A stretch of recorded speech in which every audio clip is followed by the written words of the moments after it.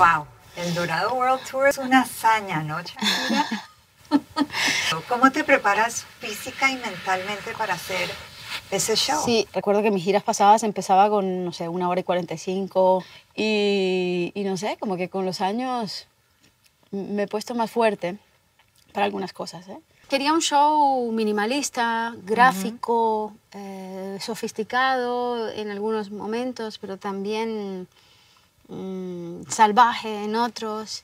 Y también cargar todo el show, todo el peso del show sobre mis hombros. Hablemos un minutico de tu voz. Fue muy duro porque sentía que era mi identidad lo que estaba en juego. Bueno, esos meses que no tuve voz, estaba claro que o necesitaba una intervención médica o una intervención divina, pero algo tenía que ocurrir.